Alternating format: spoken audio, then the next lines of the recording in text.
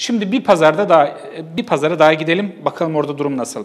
Konyaaltı Belediye Başkanı Semih Esen, Kaymakam Kamil Köten, İlçe Emniyet Müdürü İrfan Ağlamaz, İlçe Jandarma Komutanı Özhan Nacar'la birlikte Öğretmen Evleri Mahallesi'nde kurulan Öğretmen Evleri Kapalı Semt Pazarında incelemelerde bulundu. Başkan Esen, pazar yerlerinde alınan tedbirler ve yapılan değişiklikleri anlatıp bir kez daha hijyene dikkat çekti. Halkın en yoğun olduğu yerlerin başında pazar yerleri geliyor. Valilik bir takım uyarılar yaparken Konyaaltı Belediye Başkanı da ilçede kurulan pazar yerlerini denetledi. Başkan Semih Esen'e pazar denetiminde ilçe kaymakamı Kamil Köten, ilçe emniyet müdürü İrfan Ağlamaz ve ilçe jandarma komutanı Özhan Nacar eşlik etti. Maskeli ve eldivenli pazar esnafı saatler öncesinden alana geldi. Elle seçmenin yasak olduğu pazarda esnaf bütün ürünleri poşetleyerek satışa hazır hale getirdi.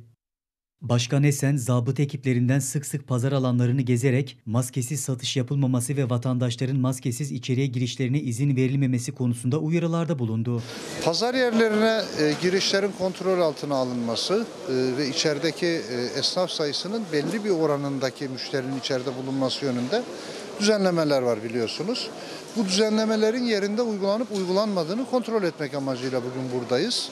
E, gördüğümüz kadarıyla hem esnafımız hem de vatandaşımız özellikle kurallara riayet ediyor. E, maskesi, eldiveni ağzında.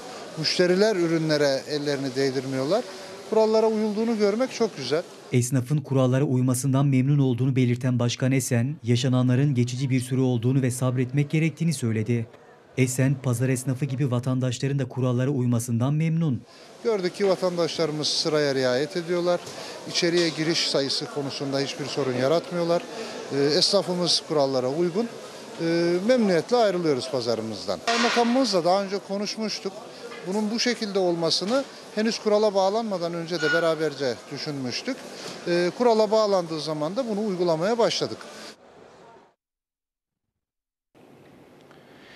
Konya altındaki pazar güzel görünüyor ama inşallah göstermelik değildir o görüntüler.